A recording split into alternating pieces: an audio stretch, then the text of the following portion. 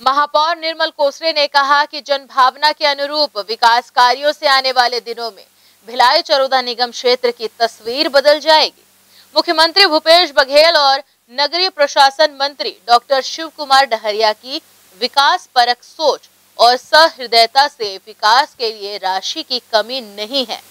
पटरी पार के सात वार्डो में लाखों के विकास कार्यों का शुभारंभ होने से यह बात प्रमाणित हो रही है।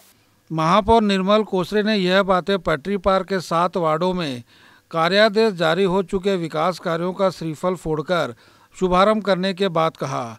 इन सभी वार्डों में सीसी रोड और नाली निर्माण शुरू हो गया है।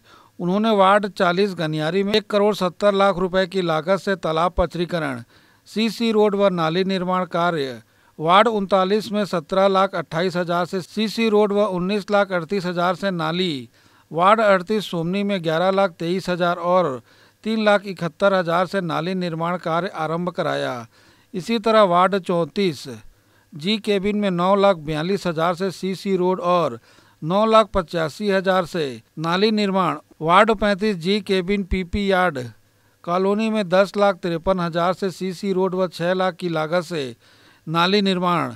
वार्ड तैंतीस देव बलौदा में उन्नीस लाख इक्यानवे हज़ार की लागत से सीसी रोड व वार्ड बत्तीस देव बलौदा में 10 लाख से बीटी रोड और और चौदह लाख अठहत्तर हज़ार से नाली निर्माण तथा वार्ड इकतीस देव बलौदा में चार लाख सत्यासी हज़ार रूपए की लागत से नाली निर्माण कार्य को गति प्रदान किया गया है।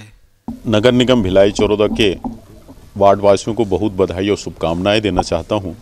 माननीय मुख्यमंत्री जी ने 18 नवंबर 2021 को जब नगर निगम के विभिन्न कार्यक्रमों के भूमि पूजन और लोकार्पण समारोह में आए थे।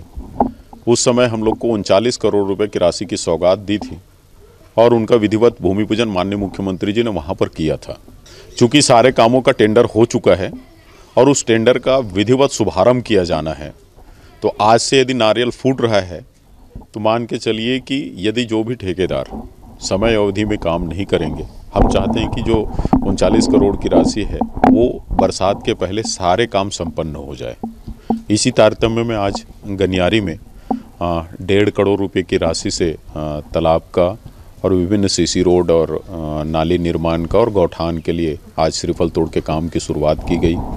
उनचालीस नंबर वार्ड मोरिद में, अड़तीस नंबर वार्ड सोमनी में, उसके बाद चौंतीस number ward G cabin G cabin P P yard Devloda इकतीस नंबर, देवलोदा बत्तीस नंबर और देवलोदा तैंतीस नंबर।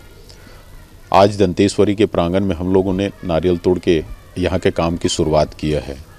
लोगों ने बताया कि हम लोग के बृहद मांग रही है, पेयजल की समस्या है। आने वाले समय में पेयजल के लिए भी उसको दूर किया जाएगा।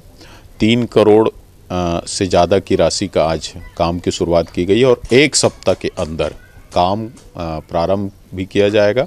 जहाँ जहाँ दिक्कतें होंगी, जहाँ जहाँ समस्याएँ होंगे, लोगों को मूलभूत सुविधाओं के लिए पानी, नाली और सड़क, इनके लिए भटकना नहीं पड़ेगा।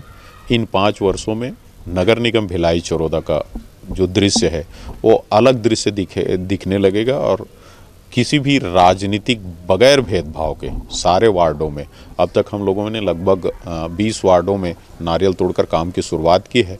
उम्मीद करता हूँ कि आने वाले समय में भिलाई चौरदा में सर्वांगीण विकास न केवल आ, लोगों को देखने मिलेगा अपितु तो पूरे शहर के साथ छत्तीसगढ़ वासियों को भी हमारा विकास देखने को मिलेगा। इस अवसर पर एमआईसी सदस्य सहित संबंधित वार्ड के पार्षद ब्लॉक कांग्रेस महामंत्री पप्पू चंद्राका युवा कांग्रेस नेता अशफाक अहमद युवराज कश्यप इंद्रजीत यादव और अन्य गणमान्य नागरिक बड़ी संख्या में उपस्थित थे।